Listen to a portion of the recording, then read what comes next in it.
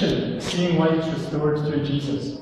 This is someone who every week of the year works tirelessly to provide a welcoming atmosphere to anyone who comes into this building. She provides breakfast for hungry students, biscuits for energetic children, and proper coffee for coffee, for coffee snobs like Glenn Jones. Our first church legend is Stella Kilfoyle.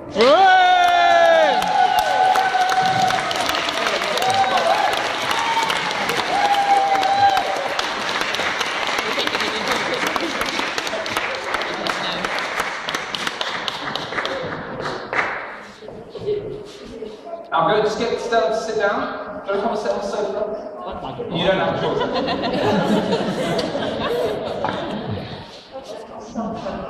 um, okay, so I've just got a few questions. So you do tea and coffee. How long have you been doing tea and coffee for?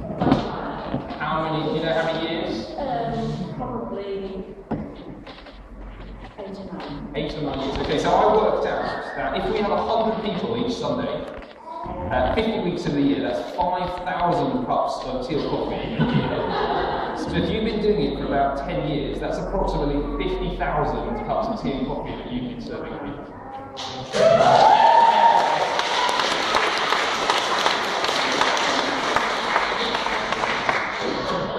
Um, and so why did you why did you start doing tea and coffee? Was a particular reason? Well, yesterday my mum interested really. Okay. Yes. Well, we used to have a rota before we had some marriage joiners. It was a small affair. And I sort of did it monthly, once a month, cut off and just did a small take it off. And then it grew. And because I was one of the ones who did it, so I grew with it really. Well, we so appreciate Stella for doing the tea, doing the tea and coffee. And uh, so we've even got a little system between Stella and I, because on a Sunday when I'm running around talking to people, I can't usually get a tea or a coffee. So usually Stella sends someone with a coffee to me, so wherever I am in the church, uh, to, to get my coffee. Which is fantastic. Well, it's got to be ready for the 11 o'clock, doesn't? And the other thing is, we, when we first got here, we couldn't work out why Barney didn't have any Sunday lunch. Mm. And we realised it was because he goes around everybody in the church and looks at them with his blue eyes and he says, Docky Vicky. so again, we've got a little arrangement with Stella that when he comes up to her and says, Docky Vicky, you give him a little bit of a chocolate biscuit. Yes, just wait for me to on. And then next time he comes back, you give him a little bit more, a little bit more, a little bit more. So, yeah. Okay, well, this is our first legend, Christchurch legend. This is uh, Stella. Should we give her another round of applause?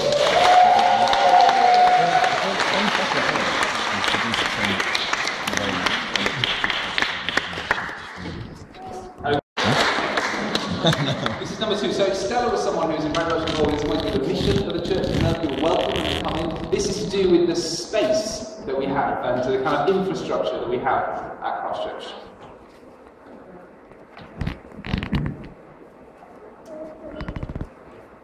Uh, so, for renewed space, this is for someone who works every week the administration of the church work.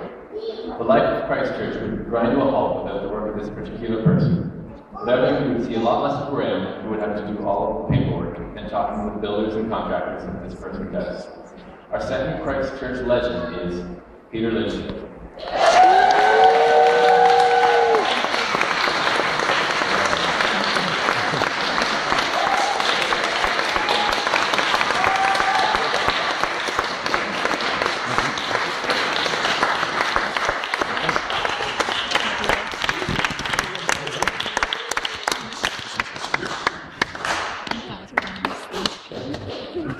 Peter, come take a seat. So,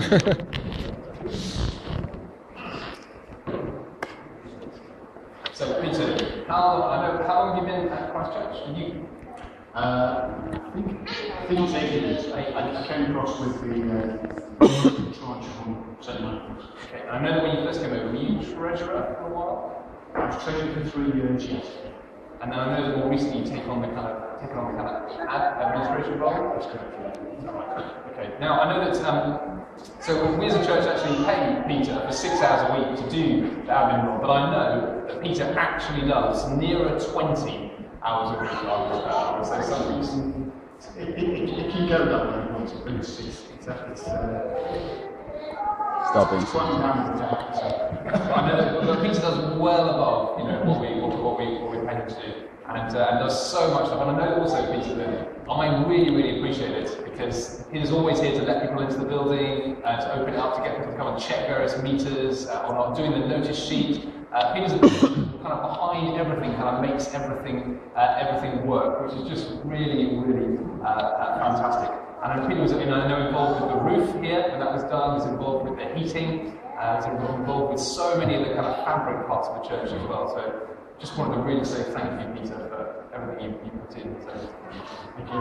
Thank you. Uh, I mean, there's lots of other people involved in the group as well. Things like, I know, I know David Sherman did amazing that and all the particular technical dealing with the I know you're trying to move the spotlight off yourself, aren't you? That's true. Cool. Okay, so this is our second Christchurch legend, Peter Linfield.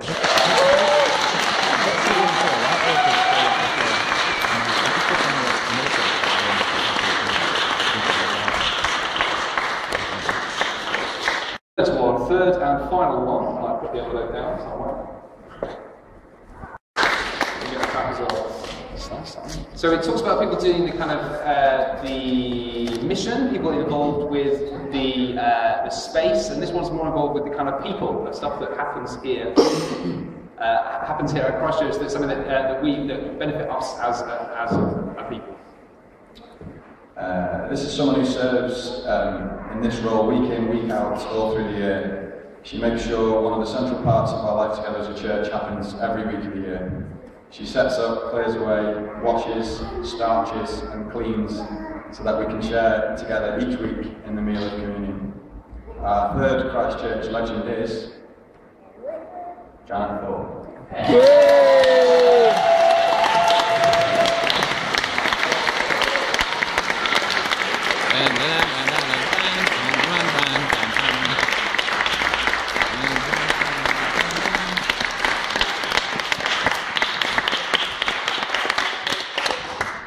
Do you come and sit down? Sorry for surprising you now. Um, uh, Janet, again, I've done some, tried to do some maths on this. Um, Janet, how, how long have you been doing the kind of communion bits here? Well, probably setting up uh, 36 times. So at least, at least 10, 10 years, at least 10 years. Okay. 12, 12. So I worked out, if you have, uh, well actually I won't bore- you with the maths, uh, but that works out approximately uh, 30,000 wipes of a communion cup. Um, so uh, 30,000 people coming in, well, coming and taking communion uh, each week. Now, Janet does so much. In fact, so much that when one week when Janet was away on holiday, there was uh, uh, David Churwin, Heather Carty, and myself all scratching our heads, trying to work out exactly what, what we were supposed to do with the bits and pieces, where they were supposed to go. Uh, but uh, week in, week out, uh, uh, Janet does this for both services uh, on a Sunday morning, uh, which is just uh, fantastic. When, so, was there a reason you got started doing it? Ten years ago. I think setting up was probably because I was church board at the time, but the actual living watchmakers took over from the lady who knew what she was doing. Actually, she had been in all dress. Well, this is just an opportunity to say thank you so much to Janet for all the stuff she does uh, behind the scenes, uh, and lots of other areas as well, particularly at communion. So, thank you very much. Our third Christchurch legend is uh, Janet.